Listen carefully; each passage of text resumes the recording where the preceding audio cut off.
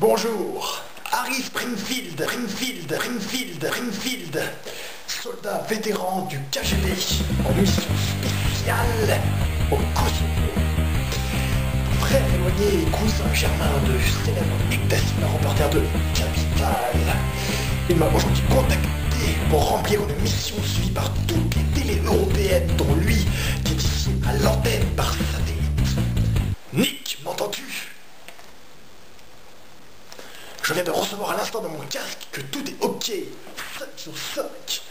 Alors, nous allons tenter de délivrer des otages retenus en Iran depuis 1947 par une tribu indigène zoulou néo-irlandaise aux références très anciennes.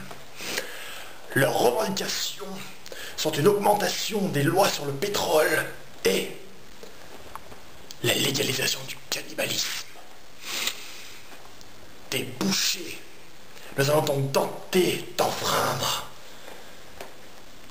ces horreurs. Je m'apprête à pénétrer dans la maison où les otages sont retenus.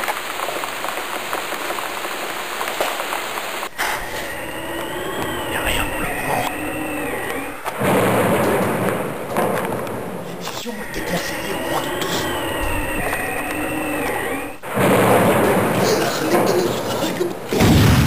Je suis encerclé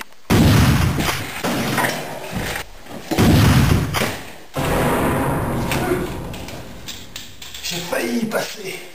Vite, il faut trouver les otages. J'en vois un. Monsieur, ça va Vite, ma trompe paramédicale. Venez, je vous soigner grâce à ces électrodes.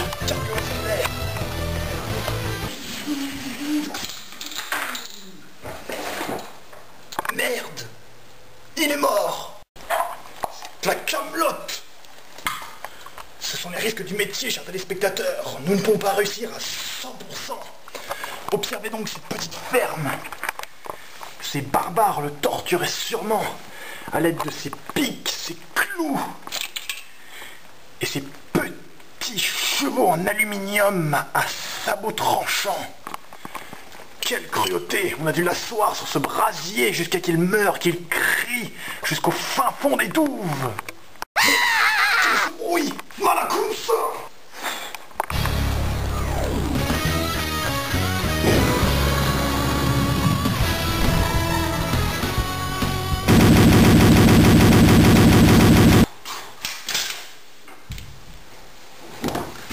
Bien, messieurs, je reprends l'antenne après cette intervention quelque peu mouvementée.